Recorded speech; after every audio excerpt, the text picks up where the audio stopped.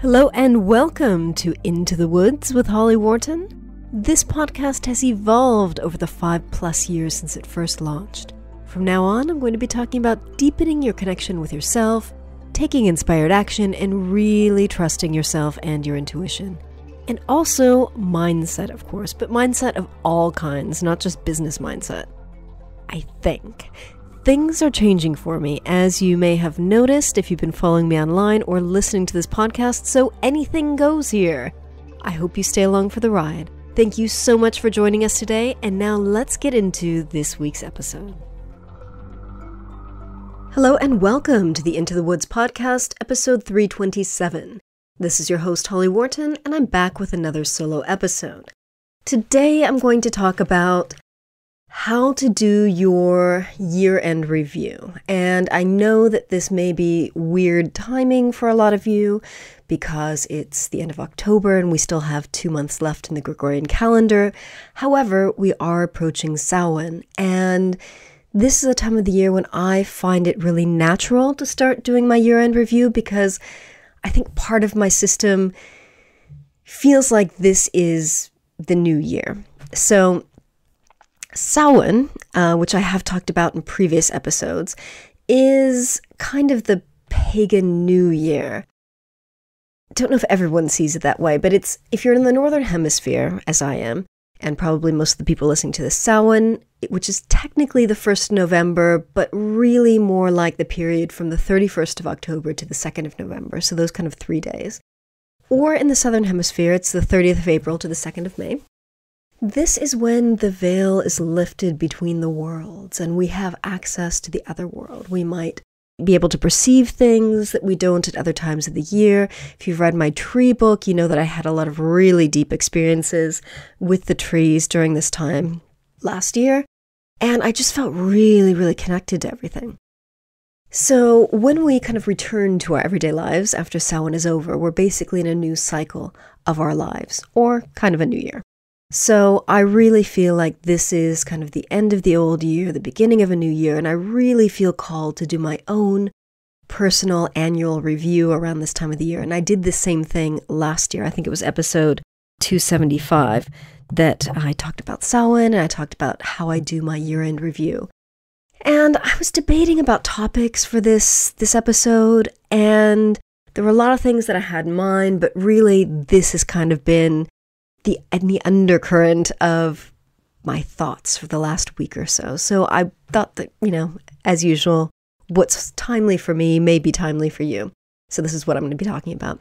So if you're feeling ready to do your own annual review now and get ready for the new year, then this timing of this episode will be perfect for you. If you are not feeling ready to do this work, then maybe listen to it now and revisit the show notes or the episode again in December or whenever it's right for you.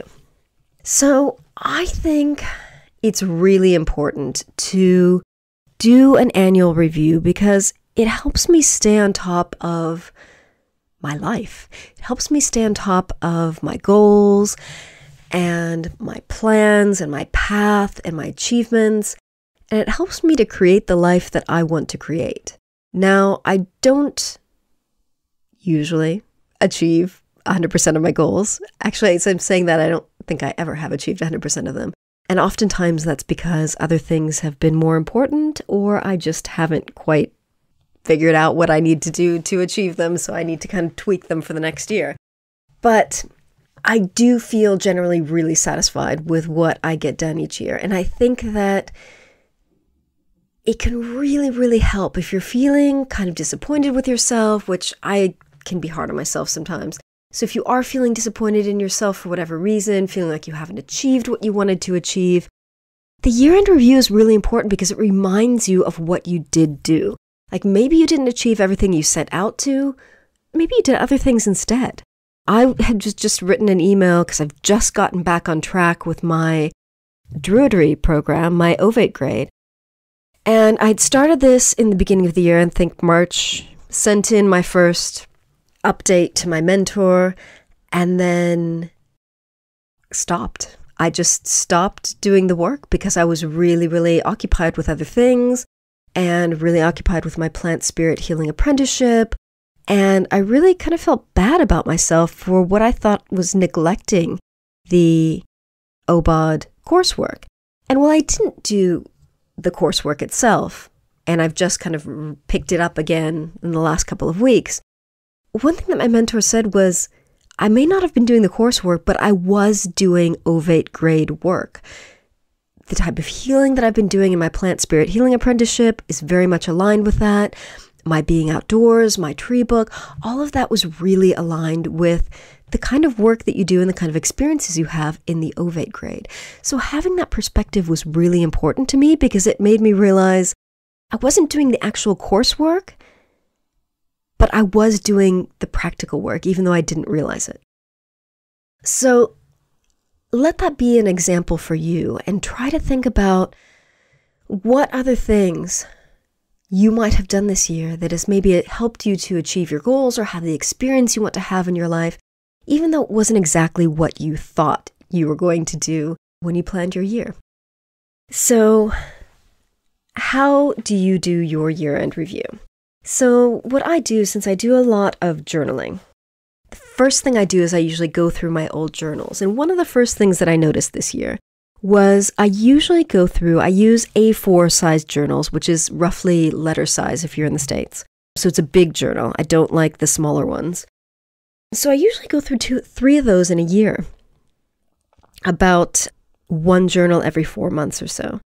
But this year, I've only gone through two journals. And that's made me realize I haven't spent as much time writing in them. Now, my first thought was, oh, that's disappointing, but really it's partly because I've been using other journals as well. Have a special journal for my ovate grade course, um, which we were really encouraged to have something separate for our druid work. And so I've been writing in there a little bit. And I also have a separate journal for my plant spirit healing apprenticeship. And while I usually have just one journal for everything I do, this year I've branched out into a couple of different journals.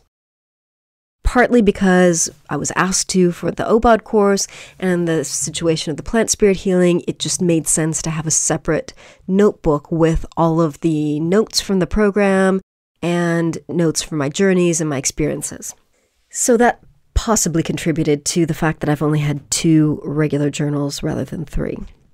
So the first thing I do is I just kind of go through, I just flip through the journal, read through stuff. I've got it next to me as I'm recording this, looking at, you know, my year-end review last year, what kinds of things in my life are not benefiting me, things I wanted to let go of.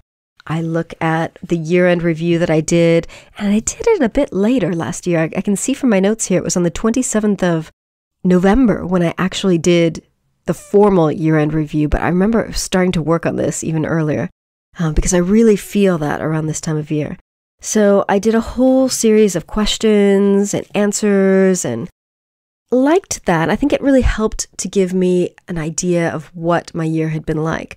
So let me give you an idea of some kinds of questions that you can ask yourself. And if you go online and you search for how can I complete a year in personal review? How do I review my year? You'll find like top 50 questions to review your year, and some of those may be relevant to you and some of them may not. Uh, so let's keep it simple for this. Start out by reviewing your old, old journals. If you keep journals, just go through your last journal entries from the last year and see what you've put in there, what you wrote in there, what happened during the year my memory is quite honestly pretty bad. So I'm often really surprised at some of the things that I find in my journals, and I think, oh, wow, I totally forgot that happened, or I totally forgot I was thinking about that. So go through those and see what you find that might be a surprise. Look through, and I like to kind of tick off with a check mark things that I've achieved, things that I wanted to do and I actually did. Go through those and just kind of relive your year through your journals. And if you're not a journaling kind of person, then, you know, you won't you'll be able to skip this step. Another thing that I do every year before the end of the year is I pull 12 oracle cards. To one for each month of the year. And those and then I also pull a 13th card which is kind of the overarching theme for the year. And then I write that all down in my journal. This is something I did last year around this time. I did it according to my notes from the on the 26th of October.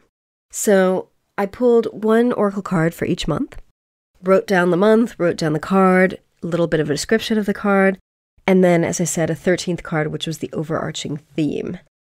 So I go through that and I kind of look, and I usually check this out throughout the year. And I look each month and I kind of see how the month coincided with the card. And it's usually really, really accurate um, which I've always found to be. I work with oracle cards, and I don't know why it still surprises me when this stuff is so accurate, but I find it really, really useful. So I go through my notes from that and I see how my actual year coincided with the cards. And as I said, usually coincides quite well. So, the overarching theme for 2019 from my cards was Bloodstone. And I used this Oracle card deck that's I'll put it in the show notes. It's crystal cards, so it has different crystals and their kind of healing meaning. So, Bloodstone is all about detoxification and chaos, transformation, perseverance. Locked doors open, obstacles are swept away. A farewell is called for, mourn and let go, let go of the past. Look closely at ancestral line, recognize toxic patterns. Perseverance uh, was kind of the overarching theme yeah, I feel like this year has been a lot of, I wouldn't say chaos, but definitely detoxification in terms of just letting go of stuff that no longer serves me. I've done a lot of deep work in the plant spirit healing apprenticeship in terms of rewriting soul contracts, working with the ancestral line for the first time ever, doing a lot of that kind of healing, letting go of blocks, obstacles. I have a very dear friend is doing kind of a distant and I hope to be able to talk about this more in the future because I really hope she's going to open this up and offer it publicly to people. But a really deep kind of house cleaning energetically, but also it's kind of intuitive. She calls in her guides. She's working with the energies, clearing blocks. It's I she's still doing it this week. We're in the middle of it, and I think that's also probably why I'm feeling like the need to review my year and, and let go of the stuff that no longer serves me because a lot of stuff is being cleaned out during this process. So, more about that in the future, hopefully. But it's been very much a year of kind of detoxing and really getting clear on what I want to let go of and letting go of that stuff. And doing that at a very deep level, as I said, with the soul contracts and, and ancestral line and, and that kind of healing.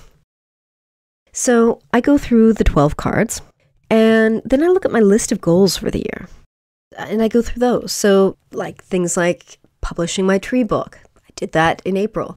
Getting my brown black belt, I did that in the summer. Go through all those goals and see what I've achieved, what I haven't achieved. And the goals that I didn't achieve, why didn't I achieve them? Are they still interesting to me? Are they still important to me? Are they still goals that I want to focus on? If so, pass them on to my list for next year. If not, you know, give myself permission to let go of them. And then celebrate the goals that you have achieved if you haven't done that throughout the year and just as an excuse to celebrate them again. I think I think celebrating our goals is really really important and I know that personally I don't do enough of that. So, celebrate your goals. And then look at your focus. What did you focus on in 2019? I'm looking at my journal and it says focus for 2019 spending time on writing, which I did, Nature kind of did. Obod didn't do much of that. That's my druid training. Reading, read 32 books so far this year. More outdoors courses. I don't even know what that means. Oh, yes, taking more outdoors courses. uh, right.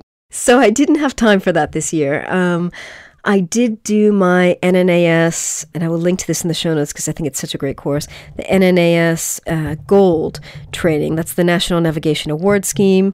And I will link to the guy that I do these courses with. He's up north in Yorkshire and he's absolutely fantastic. So if you want to learn how to navigate, use a map, this is a really great way to do it. So I've done a few courses with this guy in the past. His name is Mark Reid. He's fantastic.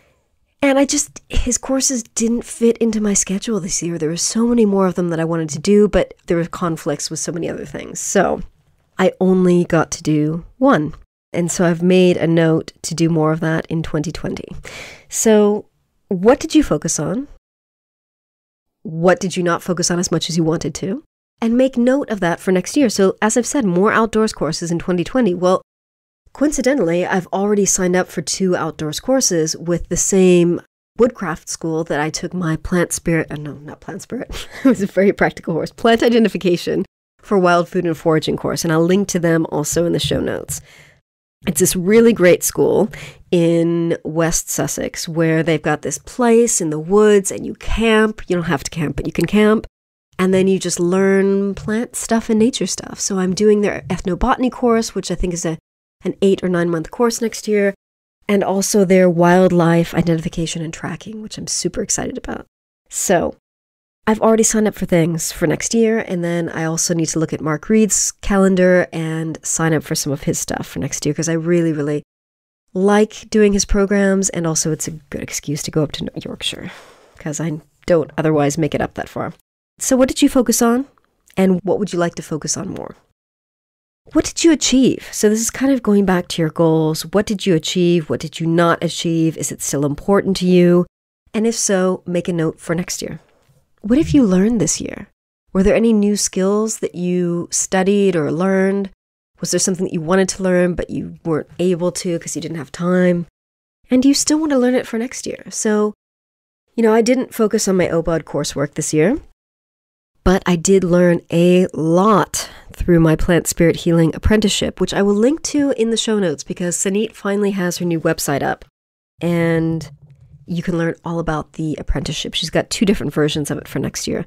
It's really, really good. And if you are in the southeast of England and are interested in this kind of work, I highly recommend it. So, what have you learned? Is there something that you want to kind of dig deeper into for next year? Write that down. And were there any overarching themes to the year? So, like I said in my card, the overarching theme was detoxification, perseverance. And I feel like those were themes did a lot of reading this year. I'm really, really happy with all the books that I read. So I guess I achieved and surpassed my reading goals. Yeah, but look at look at the overarching themes for the year and see what kinds of things came up for you. I became aware of this pattern that I've had in terms of a certain type of person that kind of come across in my life at certain points and I've realized that one of the people that's currently in my life is fits that profile and I'm really wanting to let go of that relationship but can't just yet. So it's been really eye-opening to me to kind of see that I'm still in that cycle. So that's been really really useful. So any overarching themes to the year. And next, what do you want to let go of? What do you want to let go of as you move into the new year. Any clients, any type of work, any people, any feelings. And probably I should have asked you this question before the last one, but how do you feel about the year? Like, how do you feel about 2019? Is that a satisfying year? Do you feel good about yourself? Do you feel good about all the things you've done? For me, I feel like I did a lot of deep healing this year. I thought I was doing deep work with the mindset work that I was doing, but I feel like I've taken my own personal healing and work with others to a much deeper level that I didn't really realize was there. So that was a really pleasant surprise, and I'm really, really satisfied with the inner work that I'm doing and also the inner work that I've been kind of doing for other people because I've been offering through my newsletter uh, every once in a while when I needed guinea pigs for my practice, um, plant spirit healing journeys. And I might be offering those next year. I'm not quite sure. We'll see, but we've learned some really, really good stuff that I think I think I might be sending out some very kind of targeted offers for very specific healings. So if you're on my newsletter, you will hear about it there. If not, I probably won't make it available anywhere else except for Patreon. So, moving in, once you feel like you've really kind of evaluated your year, you've done your review, and really, with some of these questions, we've already started looking forward to the future and to next year. So think about 2020. Think about your year. Do you have a word of the year? Do you have a theme? What's the overarching theme that you want to experience in the new year? I can't believe we're in 2020. What do you want to be? Who do you want to be in 2020? What do you want to do? What do you want to have? What do you want to experience? What do you want to learn? What are your goals for the year? What do you want to focus on? And again, look at all of your goals and things that you didn't achieve last year and that you still want to achieve this year and add those to your list. And the things that you wanted to focus on last year but didn't manage to do so, add those to the list if you still want to focus on them. What do you want to call in? So we talked about letting go of things at the end of, you know, the old year. Obviously, you need to take action to let go of those things. But every time we let go of things or we declutter it, it makes space to call in new things. And I think that's one of the most exciting things about decluttering and doing that kind of work. You've got that kind of vacuum, that space to call in new stuff. So, what do you want to call in for 2020? And I think perhaps most importantly, how do you want to feel? How do you want to feel in the new year? And I think for me, that how do I want to feel is the most important thing. And perhaps for you as well, because ultimately, why do we choose the experiences that we choose in our lives? Why do we seek out these experiences? Why do we set these goals? It's because we want to feel a certain way. And thanks to a session I had earlier this year with Fabeku, I put words to the feeling that I strive for, which is expansive joy. That is the feeling that I feel when I'm out on a long distance trail. That is the feeling that I felt when I was at that house in Avebury that I really, really wanted last year. It just gave me that feeling of expansive joy. It's a feeling that I crave. It's a feeling that I feel when I'm backpacking and camping, when I'm out in nature. It's so what is that feeling that you crave in your life? What is that feeling that you are doing all of these things because you want to experience? What activities or what things will help bring more of that feeling to your life? I think all this stuff is really, really useful to to identify. I was just reading a blog post, kind of skimming through it this morning. Um, I think it was a Gretchen Rubin one, and I will try to find it and link to it in the show notes. It was it was like a quiz to figure out if you're a drifter. Are you drifting through life? And God, I used to be like that. You know, for the first couple, uh, three decades of my life at least, maybe 30, first 35 years, I was really just drifting through life. You know, I had no concept of reality creation. I had no concept of setting goals. I had no concept, I mean, outside of a business setting, I had no concept of identifying what I wanted to experience in life and then doing the things I needed to do to achieve those things and to have that experience. So I think that's why so many of these podcast episodes are about this because I was a drifter for probably 35 years. And now, for the last 11 years, I have been very conscious, increasingly conscious of how I want to live my life and taking the actions I need to take to have those experiences. So, I think in summary, the reason why it's so important to do a year end review is precisely so you can create the experience that you want to have. Now, I don't know. Like I said, I don't achieve 100% of my goals.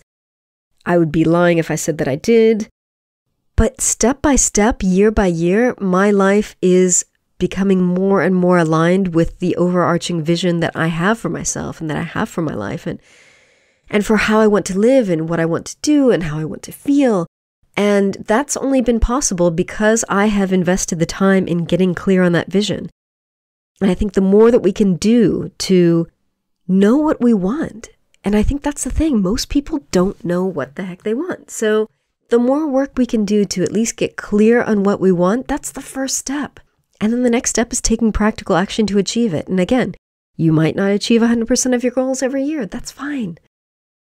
You're still taking action towards the vision, towards the goals that you want, Do you want to have, you want to achieve. I was just thinking the other day of the old Leonie Dawson planners. Again, I'll link to those in the show notes if you don't know what they are. I used to get those every single year, and she has this section in them where you write down a hundred things that you want to do in the year. And to me, it wasn't just stuff that I wanted to do, it was stuff that I wanted to. It was kind of mini goals for me. That's how I used it. And I used to get so upset with myself because I'd kind of tick them off at the end of the year, and, you know, I usually didn't achieve the majority of them, and I'd feel kind of bad. And unfortunately, I haven't kept any of those journals. I threw them all away. And I'm really sad about that because I'm now realizing that in my current life today, I'm experiencing a lot of the things that I had written down in those 100 things lists a handful of years ago. Sometimes it takes longer than a few months to achieve our goals. Sometimes other stuff needs to come into place first. And it's like when you look back in time, you can kind of see, oh, I had to do this before I could do that, before I could get this, before I could achieve that.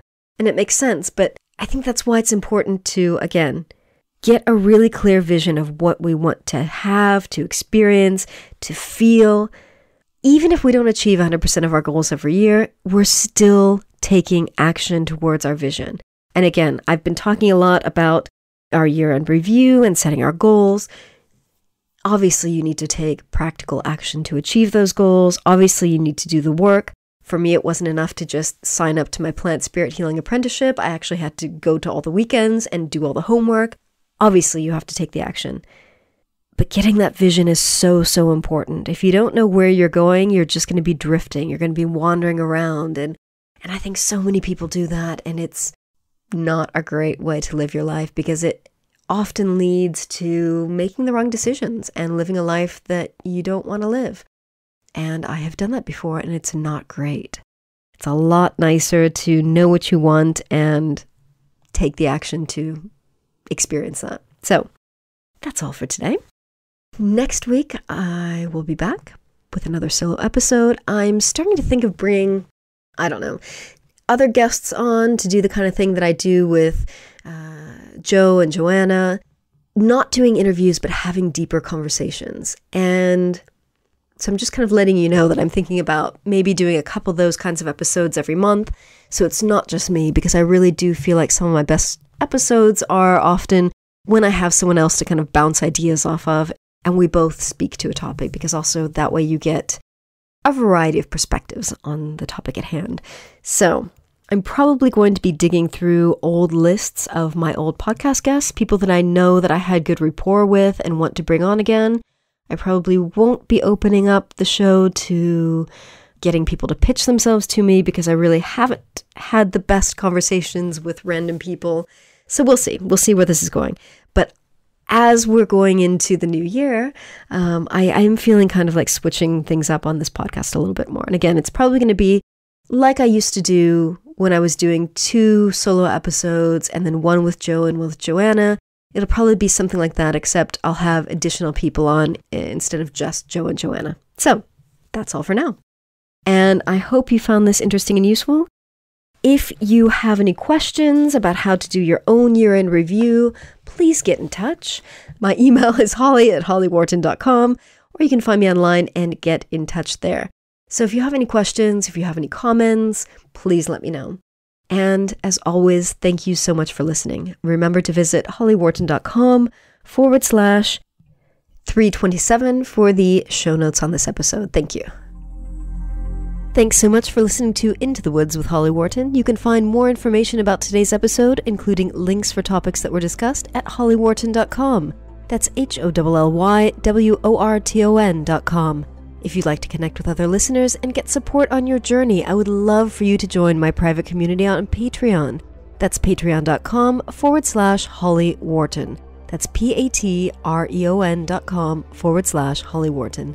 Thank you so much for listening, and I look forward to seeing you next week.